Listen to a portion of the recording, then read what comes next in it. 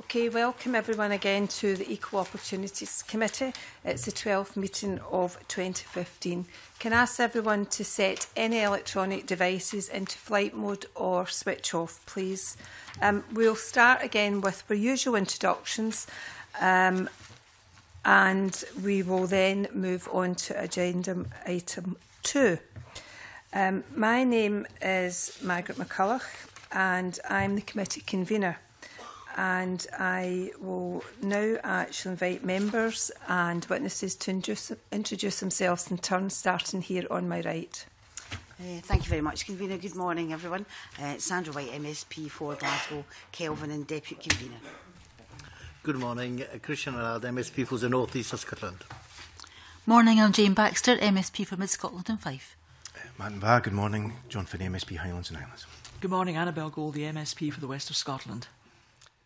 a John Mason, MSP for Glasgow Shettleston, which includes a Celtic Park and the headquarters of the Orange Lodge.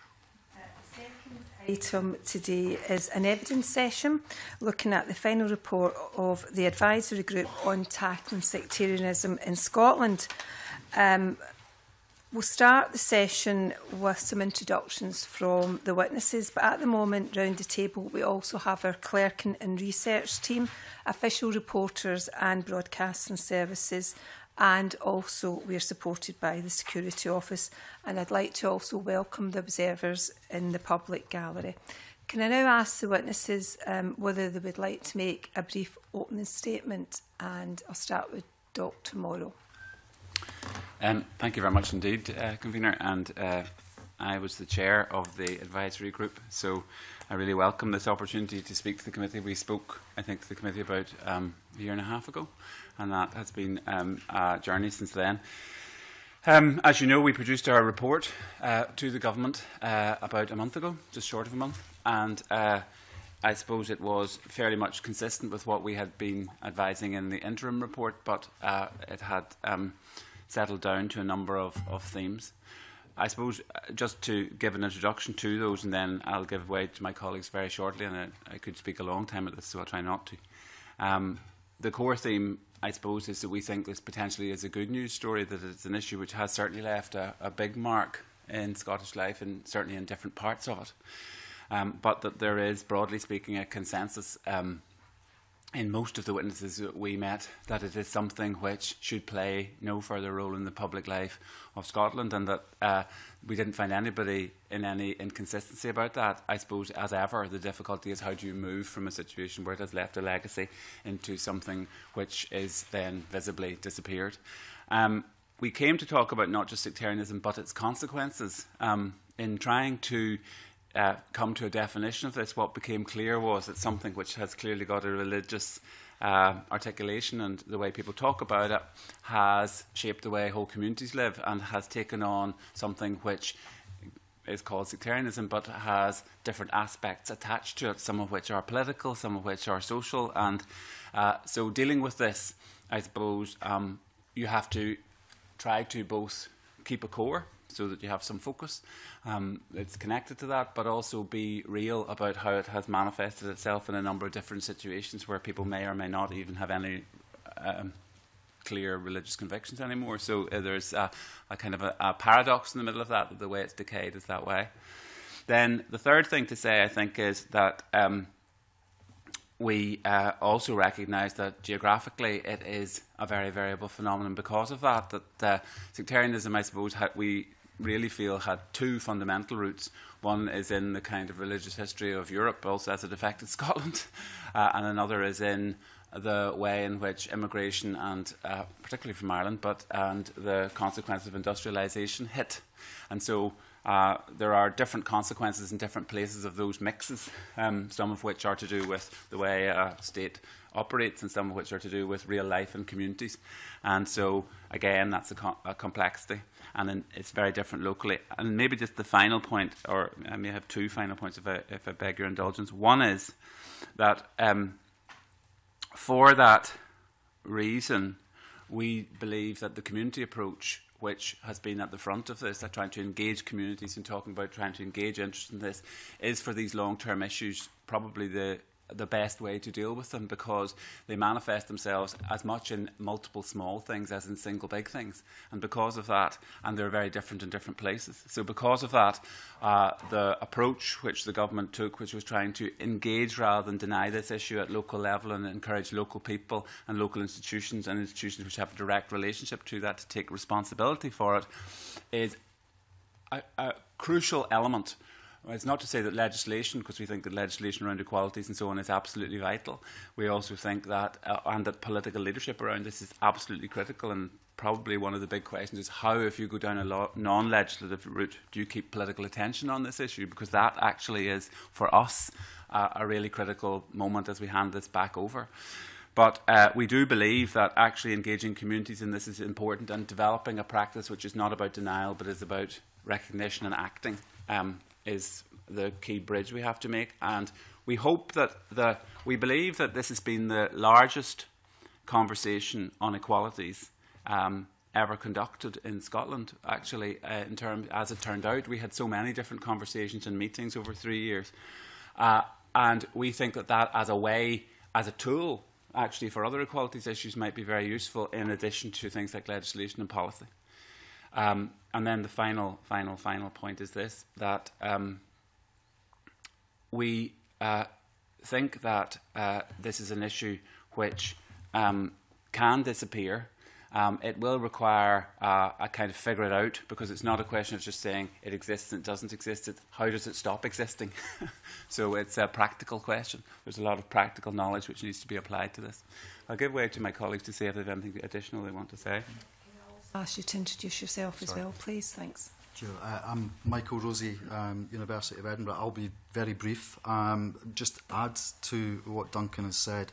One, this was a huge conversation. We were very privileged as a group to, to meet lots of people uh, along the way, and I have to uh, emphasise the goodwill that most of the conversations uh, uh, were held in a, a really friendly and productive uh, spirit, both in this Parliament from all parties, but also uh, probably just about everyone we spoke to was very keen uh, that Scotland engages with this. I think the only other thing I would add to what Duncan has said is, is one of the strands that the group contributed to was research. So, you know, just what is this thing? What are the different understandings?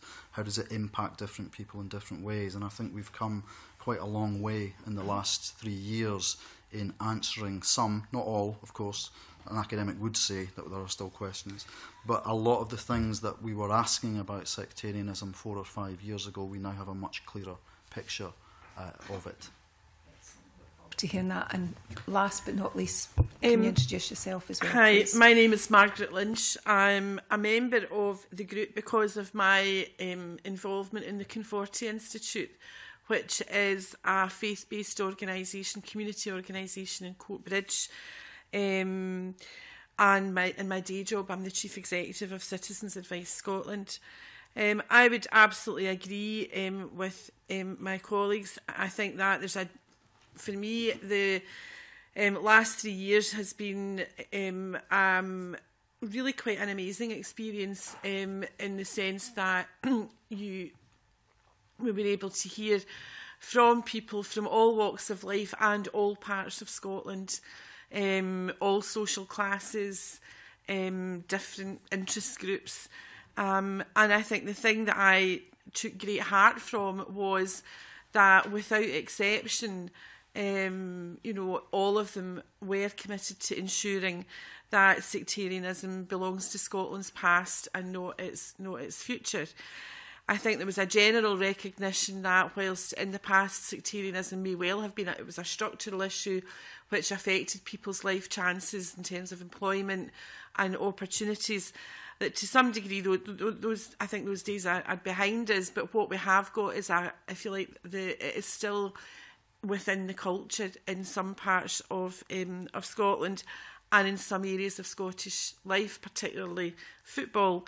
Um, and um, that would you know would, would remain an ongoing concern.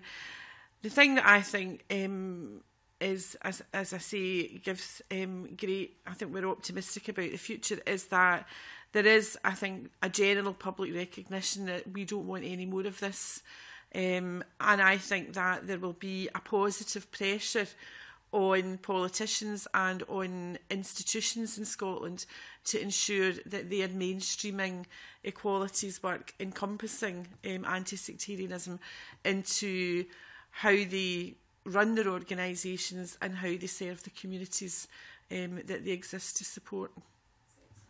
Much for those introductions. Um, to start the questions, we'll have John Finney. So over to you, John. Uh, th thank you, Convener. Uh, morning again, panel. Panel, um, I see from the brief we have here that uh, you established in 2012 to provide Scottish ministers with impartial advice in developing work to tackle sectarianism in Scotland. Now, in your very fine report, and, and thank you for it, the executive summary, um, the very first paragraph used the term the specific form of sectarianism, and you highlight that it, uh, we have considered is that arising from the Catholic Protestant tensions that are part of the historic legacy of Scotland, and we could ask questions about I will ask a further question about definitions. Dr. Mora, you said legislation around equalities is vital, and, and I just wonder what, what message this sends for the wider Scottish community, so our neighbours who suffer anti-Islamic mm. behaviour, anti-Semitism on the rise, Sikh, Sikh temple attacked, Eastern European neighbours being vilified. Um, if there's a focus on this, does this not inadvertently fuel this, you know, we've a special type of discrimination? Is that, and is that helpful?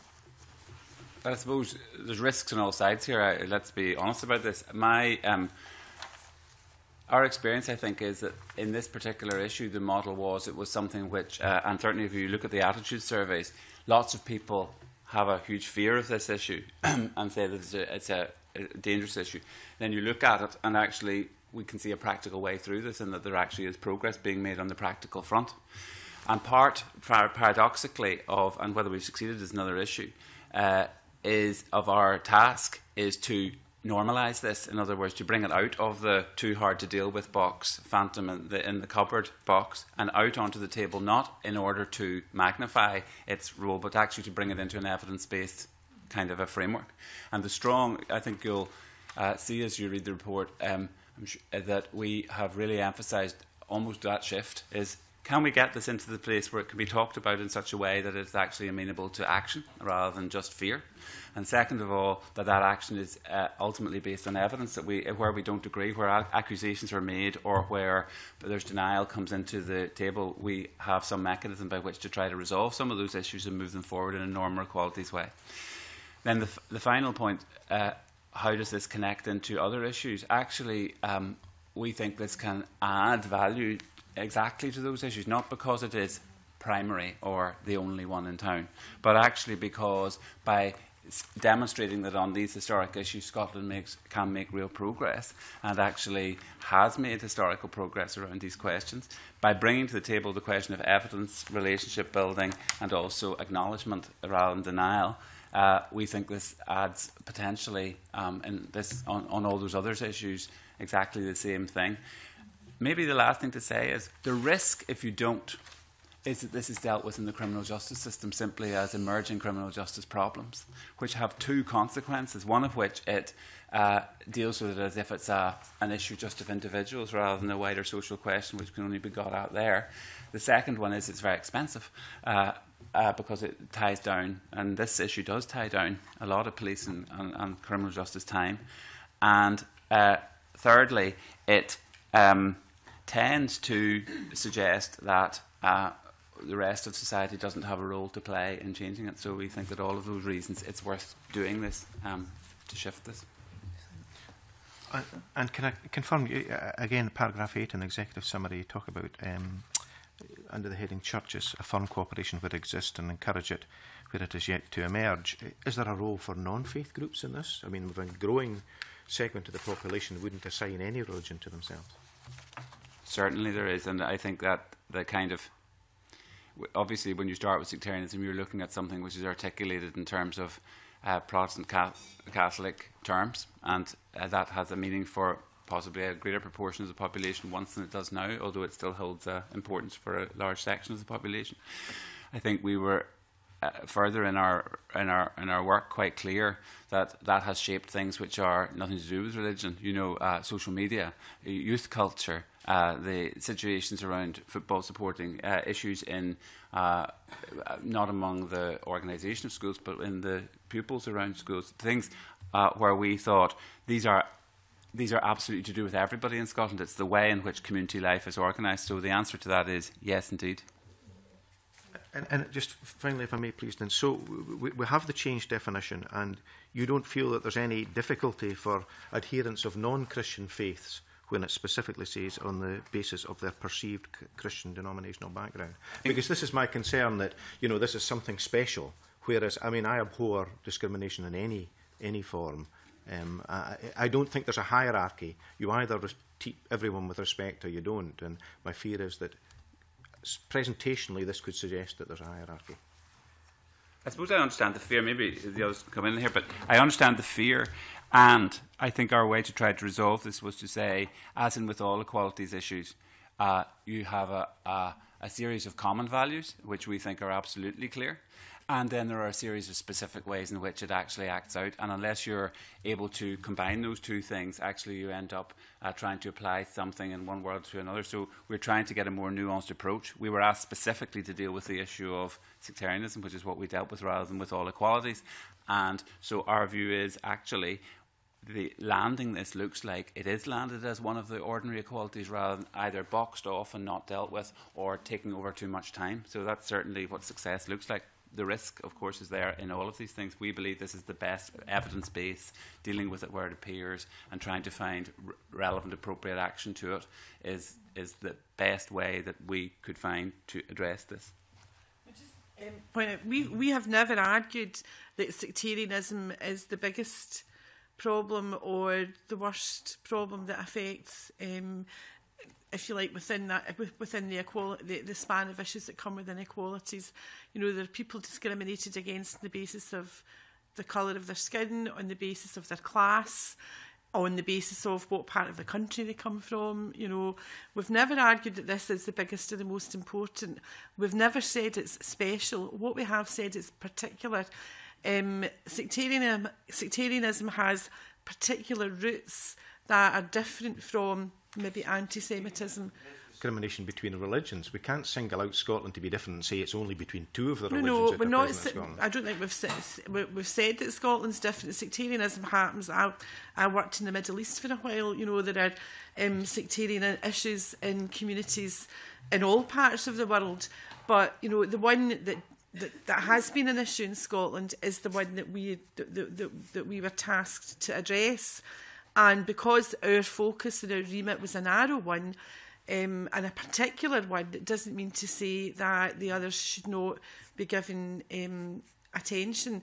I actually think that the way in which we have engaged in this issue um, which has involved people in communities from as far north as Brora and as far south as Annan.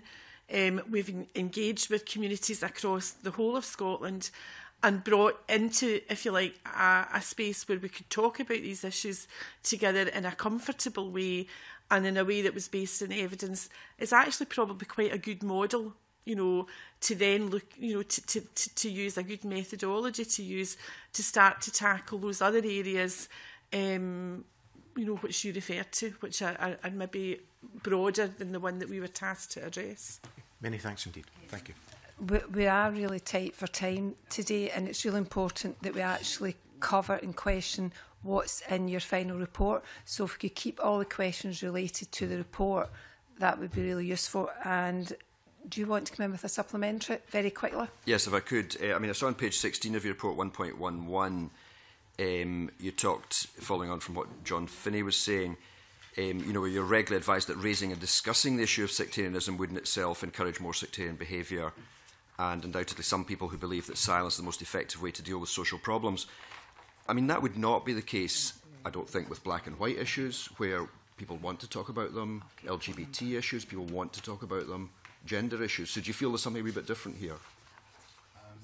I, I think there is. I think the, uh, and this does relate back to Mr Finney's questions, there is a popular perception in Scotland that sectarianism is something that we should be very worried about, that is very worrisome, that people are um, afraid of. And I think one of the things that we're trying to say is actually if we open the box as a society and look into it, then we can find what is in there and what we need to be worried about and what we need to address. And sectarianism, of course, is never in pure form, and this relates back, Mr Finney, to, to your points. It bleeds into all kinds of other things. It's never simply about uh, Catholic and Protestant. It's also about the sort of history of communities in Scotland. It bleeds into other kinds of tensions, including those between faith and non-faith groups, something that, that, that I certainly am uh, getting in incredibly aware of bleeds into, uh, from my part of original part of Scotland and Caithness, the Free Kirk and the Kirk, having a, a bit of tension there. There are Episcopalian, Presbyterian histories out there. There's lots of things in there. I think what marks this out as different and something that I've, I've always been intrigued by is if you ask people in Scotland about conflict over religion, almost the first place they go is to think about sectarianism in these incredibly narrow towns, and they are worried about it. We're very clear in the evidence that we've got over the last 25 years that people are concerned about this specific issue. And I would hope that one thing that would come out of this uh, uh, group report would be this is an issue we can deal with, but we need to deal with it in the mainstream with all kinds of other equal opportunities issues that we're much more comfortable, as you say, uh, uh, discussing you. Could I ask the witnesses if you want to answer a question, if you could indicate to myself or my clerk my left, and we'll take you in turn. And um, Annabel Golder. Thank you, um, convener. A theme in your report, both your um, your um, initial report and then in your final report, is the need for leadership in tackling sectarianism. And I'm just wondering if you have seen any positive change in this leadership area that you could share with us. Um, first of all, I suppose if you don't go down the force road, you try to talk about incentives. So I think what we're trying to do is say, actually, the, the, real change will depend on people stepping up to the plate here. There is a legislative base which needs to be supported, but actually, for social change to happen, it needs to be there. Second thing, um, the Scottish Government funded a number of uh, bodies over for, with quite a considerable amount of resource uh, for the last three years, and we gave advice on where to put that. and within that, and they'll be reporting shortly on what they've learnt, I think there are really good examples at church level, at um, uh, uh, community level, in youth clubs, in uh, football associates, in uh, Glasgow City Council, in Edinburgh City Council, uh, people doing different doing different things. So I have to say that with a bit of a spotlight, people step up to the plate. Our concern now, the next gap bit, I think, for us, and I suppose it takes a bit of time, is those kind of uh, intermediate levels. Uh, can we get um, the discussion on how to integrate this with human rights and equalities moved on a bit? Can, so through those bodies which are responsible. Football, can we get uh, the clubs to move from either having to say, look, if we say there's anything here, uh, will get full responsibility for it, which we agree is not their full responsibility, to a position which is, yes, and there are ways in which this really interacts with who we are, and we need to take this seriously. So, and the third one then, I suppose, is in schools, is uh, we felt that the really key issue is not to get bogged down in saying uh, this school or these schools are good schools or bad schools or the sectarian schools or the not sectarian schools, but that all schools are encouraged to say, what are you going to contribute to this debate? And um, so uh, answering your question, there's a lot of good practice, and it will be highlighted by the Voluntary Action Fund when they come forward, and you may get a chance to talk about it. And on the second level is our biggest concern, obviously, as you hand over a report which is based on conversation and in that is how does this continue and get carried on? And in that space between not wanting more legislation to burden people, but also not being sure that without leadership it won't happen. That, I suppose, if it, there was one single concern, how do we keep monitoring this? How do we keep the pressure on sufficiently that people feel this is something I want to respond to? That's very encouraging, convener. Thank you. Any members want to ask any supplementaries? No? Okay. Um, move on to Christian.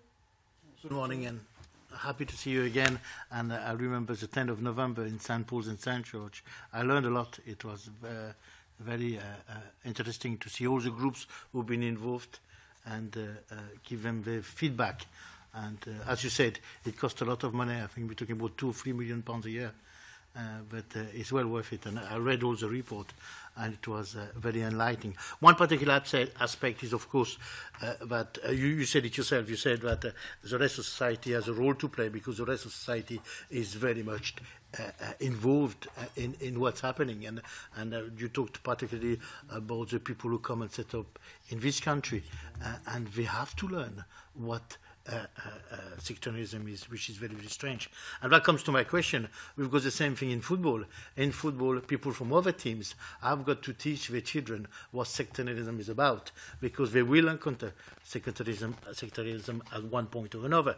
And I wish to, I wish to know, you know, did you really find a, a brick wall when you talk to the uh, uh, football club uh, do you think there is a, a great lack of leadership to address sectarianism in Scottish football? I think the, the short answer is that we didn't find a brick wall. What we heard was from within football um, a desire for football to be able to change certain aspects of it. And I think you know some some of those aspects have been deeply problematic, and certainly our research shows that when you talk about sectarianism to uh, ordinary Scottish people, very quickly football comes up. I mean, often it's the, the first thing. I wouldn't describe it as a brick wall. However,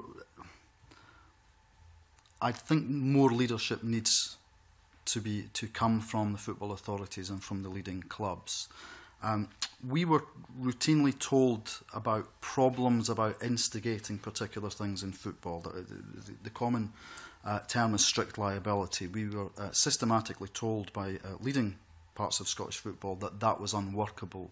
So the challenge that we gave them, and I believe the challenge they've had for a number of years before this group, and the challenge that's in our final report is if that's not the way forward, they need to provide the way forward because the only alternative to football making a very clear and important leadership role in that is for uh, legislation or for bodies like the police or the courts to get involved. And actually, I think long term that would be counterproductive.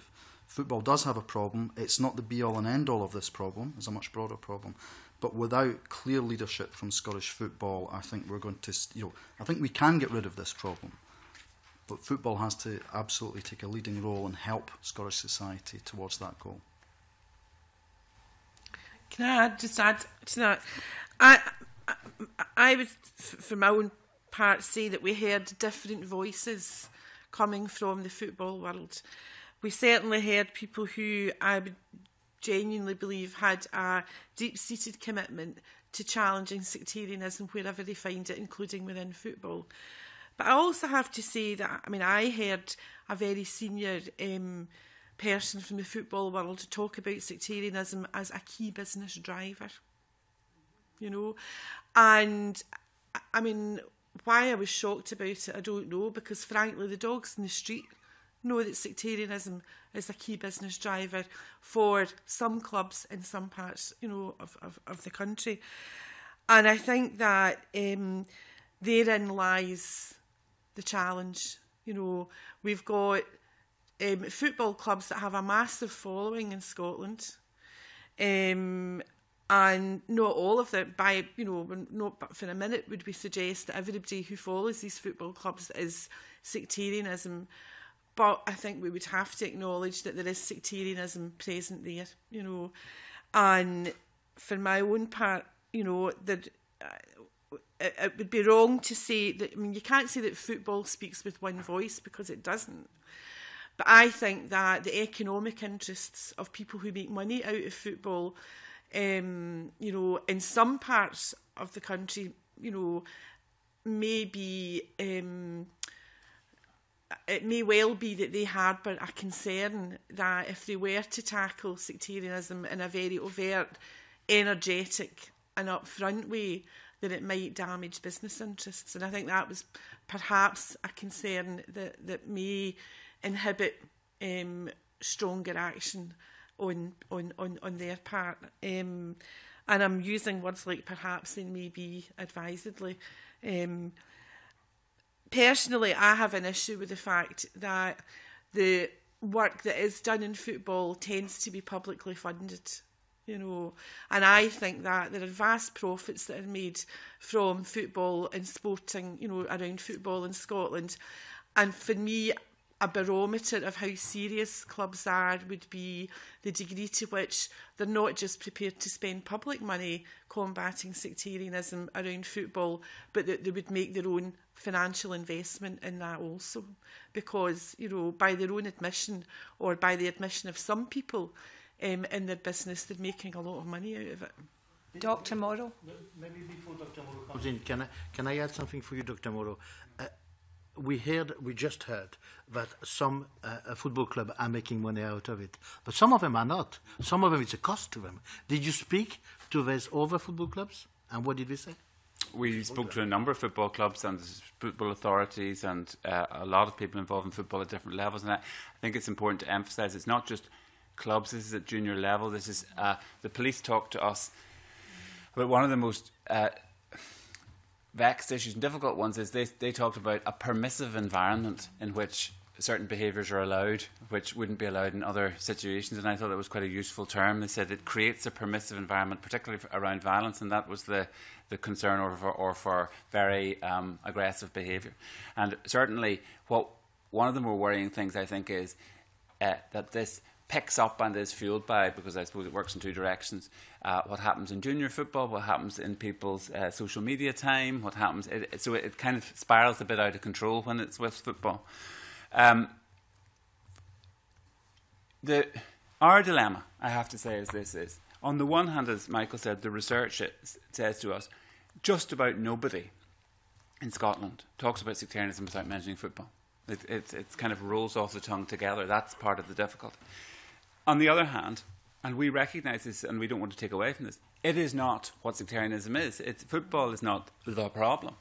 However, without the involvement of the football authorities in taking whatever responsibility is theirs and in even working with us to work out exactly where it starts and ends, uh, the danger is we're back in this debate, which we were in the whole debate, which is either we all be quiet about it, just let it go, or it becomes the big thing every week in the papers and it's highlighted again. So I suppose for us, the question is, um, can we make? I, I think with racism, it's very clear in football in UEFA, which is that the economic arguments and the political arguments have aligned now to say it's in everybody's interest actually in the longer run to move out of this ghetto and actually move into this as an important part of cultural life which is open to everybody.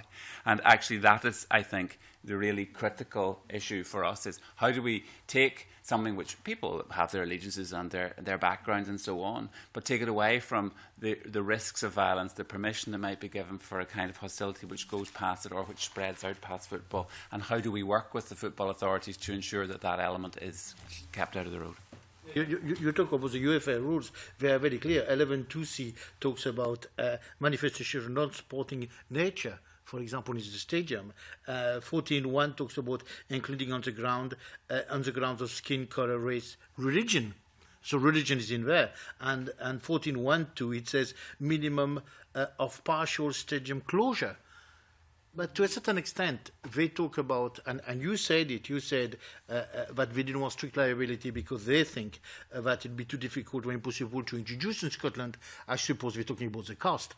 But there is a great cost of society, not only to control these football games, but we spend two to three million pounds a year uh, to, to address this problem.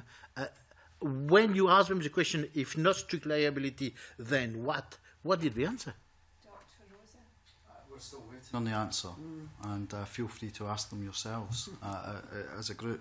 I mean, the, the UEFA rules, of course, count for UEFA competitions, so we have the irony that uh, um, um, my club, Hearts, could be playing uh, one week and the songs that, that certain fans might sing are not punished, and then midweek they are playing in a UEFA competition, the same songs would bring down those UEFA rules in it. So strict liability does seem to work in some competitions, but it doesn't work in, in uh, um, uh, domestic competitions. I guess what I would say, I'd, I'd, I'd, I'd, want to say something a bit more positive about football mm-hmm. because I've, you know, football has been a huge part of my my entire uh, life, indeed probably far too large a part of my life. You know, I, this is not an anti-football statement, but in the time that I've been following football, um, boy and man, um, the permissive environment for homophobia in football stadia and the permissive environment for racism in football stadia and the permissive environment for sexism in football stadia. I'm not saying these things have been solved because they haven't,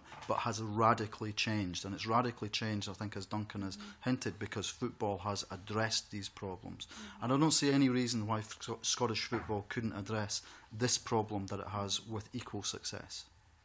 We, we've actually got John Mason and Annabel Goldie would like to come in, so could you ask your questions very briefly and could we have very brief answers because we've got quite a lot of questions still to go through and it's important we cover the whole uh, spectrum. Yep. Uh, eh, page 37, 4.18, you say, we were told that one reason that strict liability was unworkable in Scotland was because certain stadia would be closed for months, leading to severe financial hardship for particular clubs. I mean, that suggests that some clubs, sectarianism is just totally linked to a huge part of their support and that if, if they really took a hard line on this, there would hardly be anybody there. I mean, is that overstating the case? It, well, I mean, they said it themselves, so there may be a risk. I suppose, actually, this comes to the point about not just whether you acknowledge a problem, but how you best deal with it. And the difficulty, of course, is that if it's not dealt with, it will be dealt with by extreme legislation to deal with specific circumstances.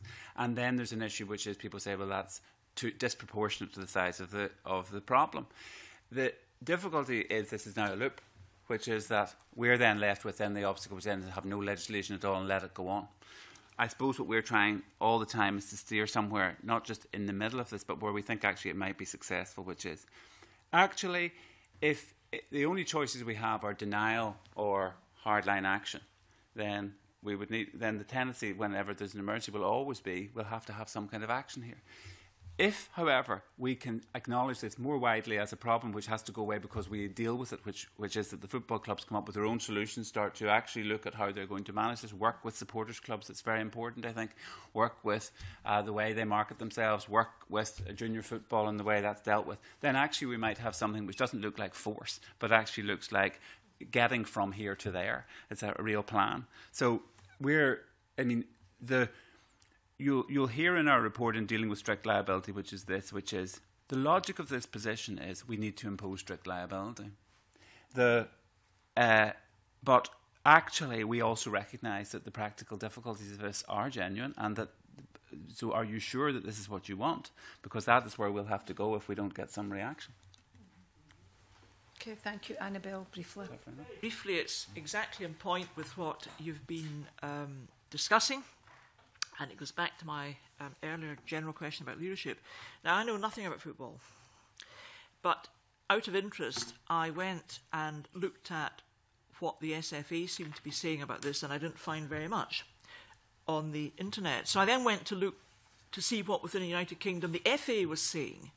And I find on the FA website a comprehensive you know, template of you can report issues that concern you. There's a phone number, there's an email. But interestingly, there's a really very powerful list of sanctions that the FA will apply to member clubs. And what's incomprehensible to me as a non-footballer, a non-football attender, someone completely ignorant about football is why is a framework that seems um, regulatory and workable possible in one part of the United Kingdom and yet we seem to have a complete void in Scotland? Dr Rosa? Strict liability has been adopted by the English FA largely in response to issues around racism uh, in football. Um, that was a clear leadership by the Football Association. It links to long-standing campaigns around respect in football. You may have seen some of the adverts on the telly a few years ago about screaming dad, you know, dads screaming at their small children playing football about football's got to be more positive than that. Um, you won't find such a systematic and um, um, forward-looking in terms of you know a, a, a trajectory in Scottish football. Um, I would love to see that in Scottish football. I'm the father of a two-year-old son. Um, lots of debates about at what point he gets to come with me to the football, and I hope he likes it. But I am concerned about the, the, the culture in football stadia and how to make it better. And this is one area, sectarianism, where Scottish football, I have to say, has failed to act for far too long. Sure, they're skating in thin ice. You might say that, I couldn't possibly. thank you. Okay, thank you. Over to Sandra White. Thank you very much, Convener, and just said, uh, good morning, and thank you very much for the work you've done. And your report is very, very interesting, and uh, you talk a lot about equalities, and that's absolutely what obviously it's about, Equal Opportunities Committee. I wanted to ask you about marches and parades.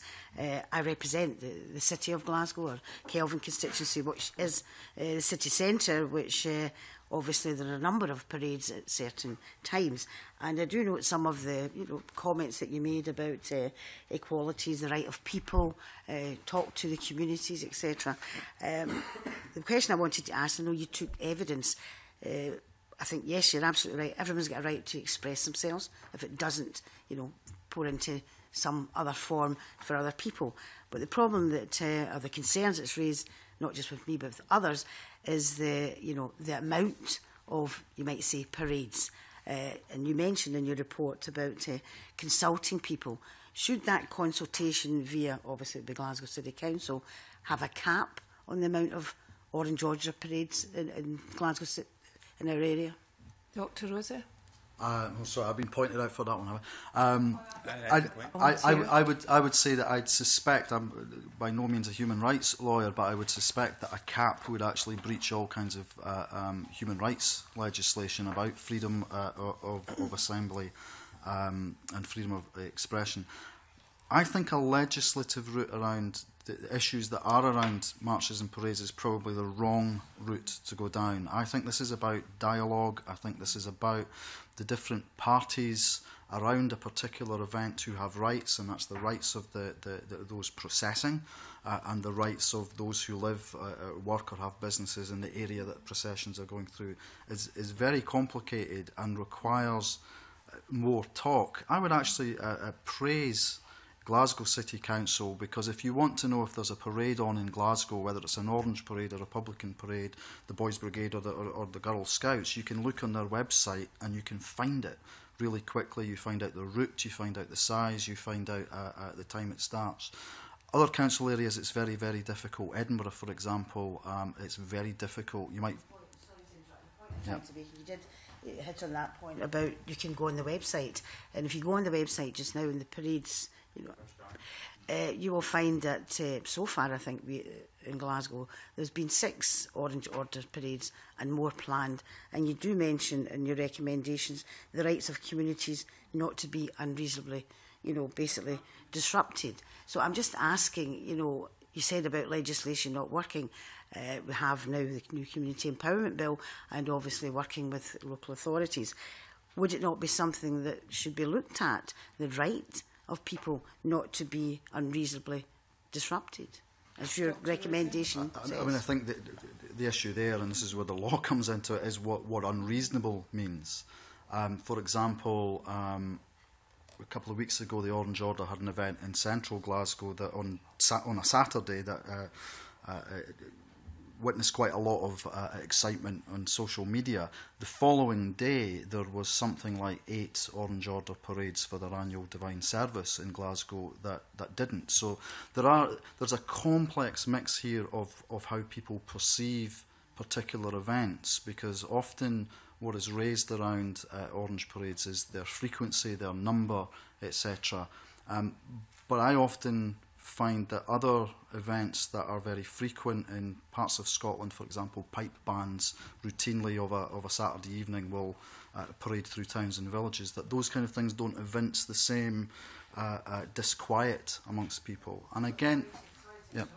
Sure. Obviously, we're looking at your paper on, you know, sectarianism. Yeah, yeah absolutely. It doesn't mention pipe bands here. No, no, absolutely. Um, uh, maybe somebody else would like to comment because I'm looking at on the equalities issue I mean, of I, everyone. I, I'd like to come in on this, not least because I live in a community where, frankly, you know, for about the next eight or nine weeks, you know, large numbers of us will be waking up every Saturday morning at around about eight o'clock to the sound of music, which whilst it might be very nice, um, some of us might prefer to, you know, to sleep on in our, our beds.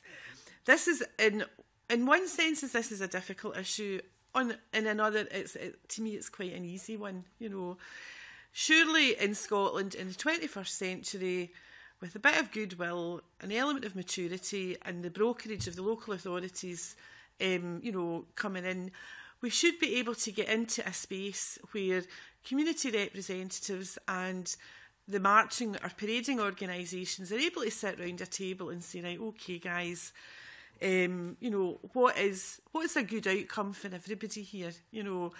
I happened to be having a cup of tea in my pal's house last night and he was, you know, his house abuts um, a, an orange um, hall, you know, and the band practice, you know, does it, you know, as as as as every Saturday, you know, and and he was kind of moaning about the fact that his days of lying is having a lie-off, as we call it in Lanarkshire, are, are behind him for a few months.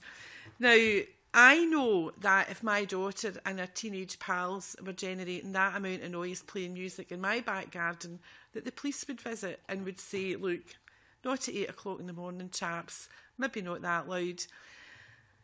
I actually think that that conversation is possible. It's just that nobody's attempted to have it because there isn't an easy route into, you know, how do how do you phone up your local Orange Lodge and say, I live round the back, do you think we could come and talk about this? People won't as individuals do that.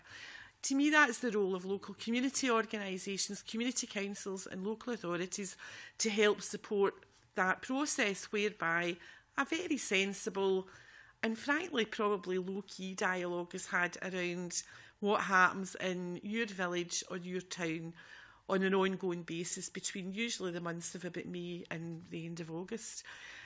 I can, and, and, and certainly I, we've had a, a number of meetings with the Orange Order. And I have to say that in all of the meetings that we've held with them, I've found them to be reasonable, approachable, sensible, And more than anything else, I think they want to be respectabilised. You know, they want respectability as an organisation. They want to be included in, if you like, the realm of respectable organisations in Scotland. And they feel that that's not where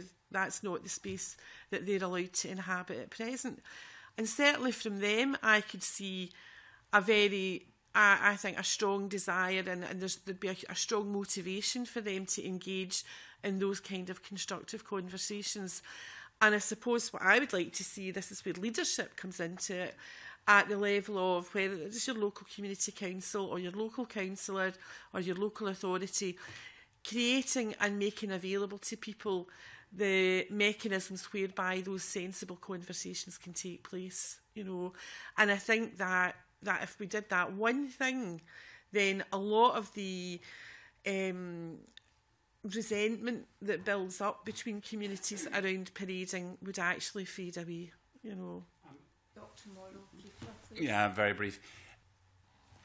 The reason we didn't go for a cap, partly it's the rights issues, but partly it's because actually what a cap is in local communities may vary. So actually it, there's a there's an issue around brokerage and, and, and local brokerage around it.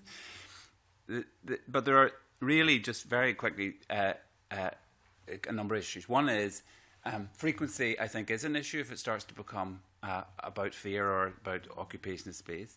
Uh, behaviour is absolutely an issue, and responsibility and how far it extends. In other words, when you bring people onto the street, who are you responsible for? Those things all need to be brokered and dealt with in a way which takes us away from any permissive environment around either fear or violence. Those two things are the things that we're uh, actually concerned about in sectarianism is fear and violence. Those need to be taken out of it. And that actually, in the end, as you say, always tends towards um, legislation if we don't get cooperation. But actually, uh, in an ideal world, and not just in an ideal world, we think really critically. This is where we see local authorities and local community councils having a really key role in engaging with issues rather than standing off it and working through where there are local issues around frequency or around behaviour, but becoming very clear about how they intend to approach those issues, bringing in the organisations who are responsible and the communities who feel affected. Uh, thank you very much. Um, moving on to Jane Baxter now.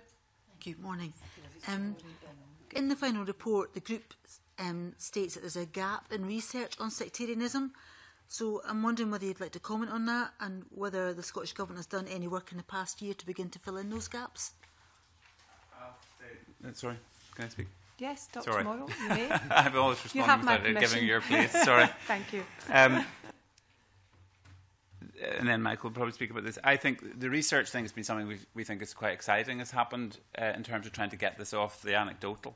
Uh, a number of issues, there were two elements, quantitative, which is actually trying to get the equality stats up there and hope that they'll happen and they can be monitored and people can challenge those, but also the attitudes and the things that are residual for people. So between those two, um, those are now part, we think, of, a, of a, can be regularly monitored and in the public domain. So that is important.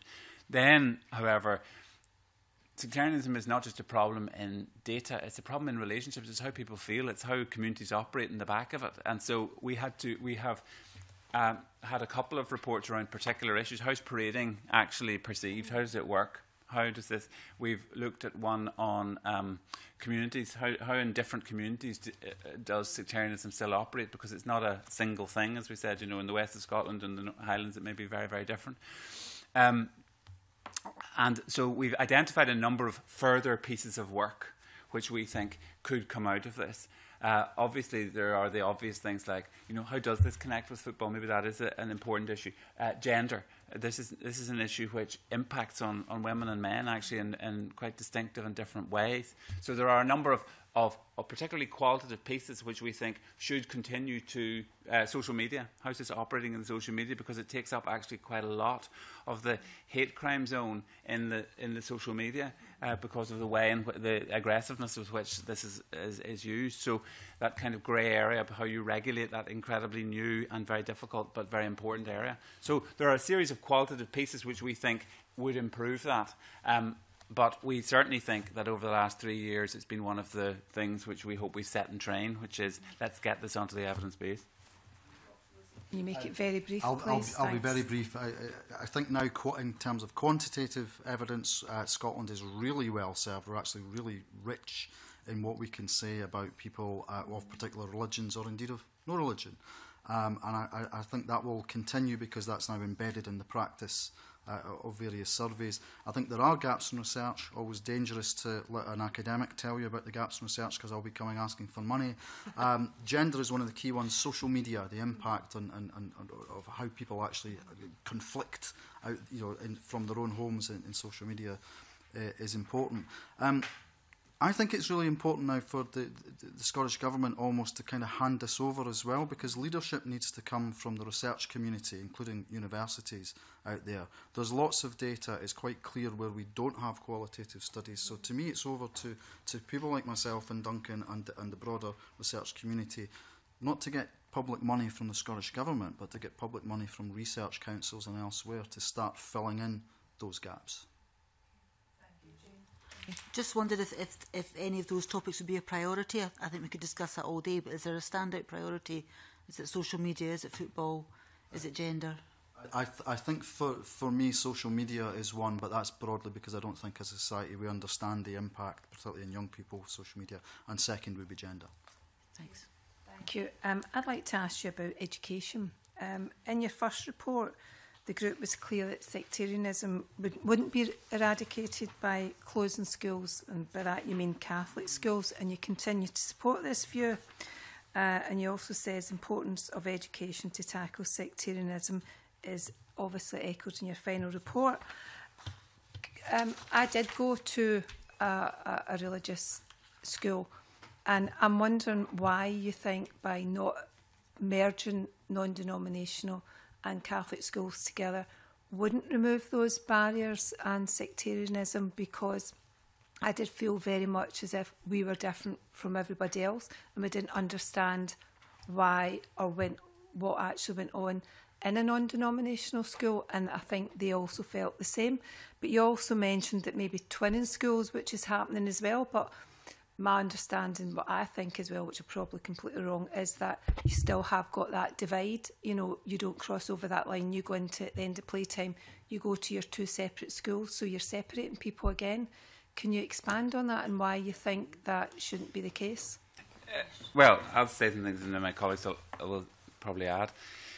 Uh, we looked at this and um, obviously, you know, uh, the issue of, of schools and the attitudes and young people's at the front line of this is, is really important. So first of all, I don't want it to mis misunderstood as this. We don't think this is important. We think it is really important.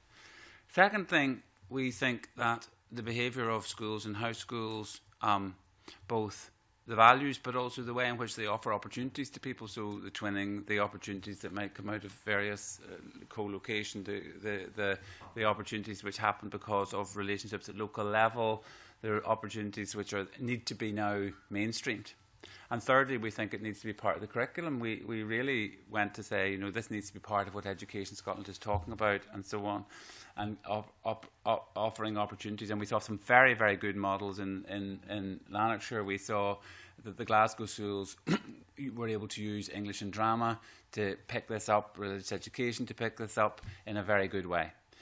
Uh, on the other hand, we think that uh, the that in order to make the, the, relationships are more important actually than, change, than, than saying these schools are bad schools or these schools are responsible and, the, and, and not, and that uh, the the debate around the opening and closing of schools tends to polarize into two things: who's responsible for it, who are the bad guys, who are the good guys in this, and that the key thing is to focus actually on children rather than on schools. So what is happening for young people? What is happening to, and so I wouldn't want it misunderstood that by saying we don't think that school closures is the first issue, that we don't think that uh, what happens in schools isn't absolutely critical. It really is critical, uh, and uh, it needs to happen in, from the top and as, in an all-school approach and from Education Scotland. And to be honest with you, I think that uh, one of the key uh, tests for us is going to be uh, how does that happen? Just to give you an anecdotal uh, story from um, uh, one of the most long-standing and impressive projects. Um, Centre for Sectarianism was established within Glasgow City Council with the kind of liaison group around it and developed um, a process around a book, actually, Divided City, which uh, was a, a novel which was then used in the primary six uh, classroom. And once it was uh, put into place, what we heard was that actually the, the, the demand outstripped the availability of, of staff to deal with it actually quite considerably. In other words, the head teachers were looking for mechanisms in which to actually find a constructive way to address this and now are looking for ways to transfer it into the secondary school system. So We believe that the primary way in which we can engage schools is not to target a school as a good school or a bad school, to encourage schools to develop proper partnership relationship, to ensure that this kind of them and us culture is part of what they're building down, but also to have tools and the capacity to deal with this at curricular level as the primary focus of how we want to see progress. I, I mean, I want to be clear. I don't want. I'm not saying that there is good schools and bad schools, right? that, that I think that's the wrong thing to actually put across. What I'm saying and what I still don't understand is why you can't have the schools merged together, right? Um, a good example of this is that my son lives in Southern Ireland, and they actually chose to send their children to a school called Educate Together. And for anyone that actually wanted any kind of religious education, it was done out with the school. So all the children are coming together, sharing the same values, being taught in the same situation, and hopefully and obviously breaking down any kind of sectarianism that may be formed. And I still personally can't see why the merging of schools together wouldn't actually create that. And you're doing it at a very early age. You're getting the children when they come in very early in uh, primary school and you're working with them. And there is excellent teaching in both denominational and non-denominational schools and why can't that good practice be shared together and come under the one roof roof to actually break this down Margaret first of all um my daughter attends a Catholic school. I come from the Catholic community and would be, you know, a, a very strong believer in Catholic education um, not because it's particularly, you know, ironically, not particularly for religious reasons, but because of the value. It's a, it's a value based education and it looks at the development of the whole child, not just from the point, of, not just. um, you know, in terms of academic success, but the development of the whole human being, which is really fundamental. Um, in actual fact, there is absolutely no evidence whatsoever that Catholic education creates, exacerbates, or um, results in sectarianism. And until such evidence can be landed, I think this is a kind of. Uh, uh I think it's an unreasonable debate to have, to be honest with you. Um, if the, you know until such times as that there is clear evidence there that suggests that Catholic schools produce um, or exacerbate sectarianism, then I think that um, the conversation that we should be having is around um, how do we ensure that our communities, you know, and our children grow up um, to value difference, to respect them, uh, to respect other people who are different from themselves, and that isn't just solely, you know, in the realms of Catholic and non-Catholic kids. You know, there are many Asian um, kids who go to schools in Glasgow, and the fact that they attend a school with other white kids does not necessarily diminish their experience of racism. It is about what is taught in the school, what are the values that underpin the education that's provided, and part of those values are you know, and should be about partnership and reaching out um, to to your community and in being engaged in all all parts of your community. So I mean, from that point of view, I would say that I would put up a very strong defence um, for um, for Catholic education in any event, but, set, but because it has been evidence and there is an evidence base to show that Catholic schools get better outcomes educationally for children, particularly for those children who come from deprived backgrounds.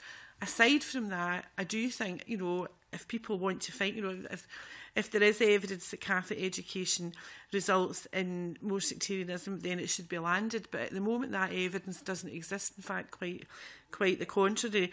The other issue that I think needs to be confronted is um, you don't hear a similar discussion around schools that are selected on the basis of how much money your parents have or what class you belong to. You know, there's a whole section of the population in Edinburgh who choose to pay for their education and send their kids to be educated with other children whose parents are, you know, are equally financially well endowed. But I haven't heard an argument yet that says that the existence of Harriet War or um, is, you know, is a reason why the class struggle is, you know, an ongoing feature in Scottish society. And it strikes me that what we do have are, you know, is one rule for people who want to um, have a, a separate education for their children based on, on class and on money, and the the um, the, the Catholic education is not treated in the same basis. Right, I want to make clear again that I wasn't implying that sectarianism was actually bred within Catholic schools. And what I'm trying to say is that by merging them both together, you're breaking down barriers. Um, and also, you do see there is an excellent ethos within the Catholic schools as well, which could possibly also be transferred over to the other non-denominational schools and they could actually learn from that as well. Dr. Morrow, very, very briefly, and we're Just, really running um, out of this time. This uh, is slightly... Um, we, we, as, we as, a, as a group um, came from different backgrounds. I'm actually um, a governor in Northern Ireland of an integrated school, and I, all my children went to integrated schools. And all I can say to you is this, is that the issue of um, if, if you have integrated schools, the question will be how do we protect diversity? If you have uh, separated schools, the question is how do we promote interdependence? And you don't get away from the question either way. And so, our view, very strongly, I think, in the group was that if sectarianism is a question of barriers and breaking down barriers, then that's a legitimate question but that the breaking down of barriers isn't just a question of actually closing schools or of targeting one side or the other. It is of being much more clearly focused on what happens to children in the middle of that. So I think uh, to be clear, if there is evidence of you know, uh, where where there is models of integration which feel like that they've solved the interdependence problem, they may be useful. I'm not personally in a place which says we shouldn't have them. Uh, nor am I in the place which says that just because you have s- separate schools, you can't do anything about these issues of sectarianism, and or that, that there are things which different uh, a process of diversity in schooling brings to the table, which challenge all of us mutually, which is is useful. So I think all of those things are true, but I think that uh, for us, the really, in terms of sectarianism, the question was where would you put your money if you were going to talk about uh, taking down this social issue of division? And we would put it on the child rather than on the schools. Yeah, that sort of more or less backs up what I was thinking as well. John Mason, we are so tight for time. time I realise yeah. that. So one question really, um, and to try and help us in the way forward, um, I mean, you've made some comments about the future uh, in your report, end of section five, uh, you talk about uh, taking things forward in a consistent long-term way. This is for the Scottish Parliament. This can only be achieved with a shared political vision. Uh, as you know, politicians are not very good at long-term uh, thinking. Um, I mean, you know how the Parliament works. We've got Parliament, we've got the government, we've got a committee like this. I mean, have you any specific suggestions? Uh, do you think this committee should spend a bit of time on this subject? We, uh, well, I think very quickly. And I think there's two things I really think. The question of monitoring houses regularly raised, I think, is really, really important. Not in a way which is bureaucratically heavy, but nevertheless really important. So part of that needs to come from the normal equalities monitoring. If you move into that, how does, uh, is it an issue and is it done through the various agencies which are responsible for that? But somehow that, that at least for the, in the, for the next period until it's decided that it's no longer a question, it should be being raised and are we making progress on this in some kind of regular way? The inter-party work on this, I have to say, was unbelievably important on this, like all of the equalities issues. If these break down on, on party basis, then actually we can hardly have these conversations because they tend to create political alignments around particular groups, and frankly, that's an unhealthy place to go. But nevertheless, so I want to say thanks to the, all the political parties in Scotland for the way this debate has not turned into, and I think that is a, really positive thing for the future around some of these questions. there are practical questions which require different, maybe people have different solutions. That's appropriate. But the general commitment is, has been there. The second one is, which hasn't raised its head, is we really do believe that local government has a really critical role in this, and the negotiation and the ins insistence on local government's role in this is something which hasn't barked. We have had conversations with COSA, and I think our view was that, for example, having the capacity in councils very clearly identified and the responsibility around reporting on this uh, allows for local uh, flexibility, but also allows for somebody in public life to be taking responsibility for this. And it may be that the I don't know whether the national performance framework or uh, something of this nature, or some some of the negotiations with how local government uh, thinks about this, uh, wouldn't be a very good way to go. So the monitoring of this and the leadership of this by political parties needs to continue, and so uh, we need to be very clear. We need a, a practical mechanism to make sure that that isn't just a pipe dream. So that's real. And the second one is that local government, we need to have a, an actual practical conversation now with local government about how this is reflected in their capacities. Okay, thank you very much. And it would have to be very, very brief, Dr. Rosa. I would just e briefly echo uh, what Duncan has said. I mean, the last five years, Scottish politics has been changing remarkably, and I think it's a, a, real testament to this Parliament that nobody has played politics with this mm -hmm. issue. And I think that's really important that that continues. It's really important that we move on from any idea that this is a special, unique problem in Scotland because it bleeds into all kinds of other equalities issues. Mm -hmm. This committee, I think, is an ideal place in which mm -hmm. some of this work can be taken forward. It's up to you to, to determine whether that's for you, but I, I would encourage you to think about this not as a special case, but as something that encapsulates equalities issues and kind of concentrates them. Yeah, thank you all very much, witnesses, for your very valuable contributions. We really appreciate you coming along. And that concludes the public part of today's meeting, and I will now close the meeting. Thank you.